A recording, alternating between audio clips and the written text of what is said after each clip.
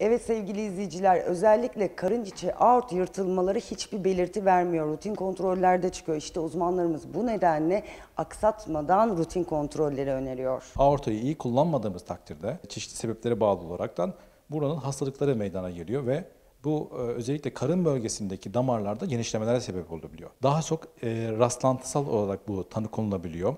Özellikle hasta başka nedenlerden dolayı karın bölgesine yapılan bir ultrason sonucunda işte aort damarında genişlemelerle birlikte gelebiliyorlar. Uzmanlar karın bölgesi aort yırtılmalarında erken teşhis için rutin kontrollerin hayati önem taşıdığını belirtiyor. Çok büyük bir kısmı ise maalesef son aşamada artık yırtılma döneminde başvuruyorlar ve bu da kötü sonuçlara, bizim tedavide çok zorlanıcımız sonuçlarla karşı karşıya kalabiliyoruz. Özellikle 65 yaşın üzerinde sigara içen erkeklerde, yine 75 yaşın üzerindeki kadınlarda da benzer şekilde ultrason ile karın bölgesindeki abdominal aortanın yani aort damarının değerlendirilmesi gerekiyor. Uzmanlar tedavi sonrasında hastaların rutin kontrollerle takip edildiğini belirtiyor. Anjiyografik olarak yine benzer şekilde ameliyatsız bir yöntemle o bölgeye stent yerleştirme işlemi, buna EVAR işlemi diyoruz. Bu işlem yaklaşık olarak yani uygun şartlarda bir, bir buçuk saat içerisinde işlem kasık bölgesinden girerek bu işlemi tamamlayabiliyoruz. Herkesin bildiği gibi anjiyo aslında çok korkulacak bir yöntem değil, bir görüntüleme tekniği ama artık el bileğinden yapıldığı için çok daha kolay ve konforlu olabiliyor.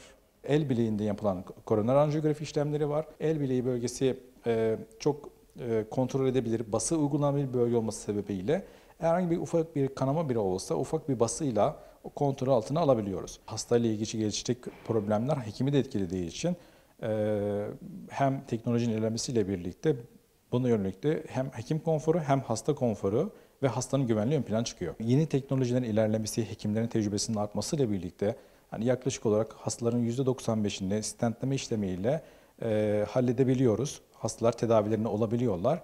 Ee, ama bazı zorlu durumlarda, stentin uygun olmadığı durumlarda tabii ki bypass hali bir tedavi seçeneği.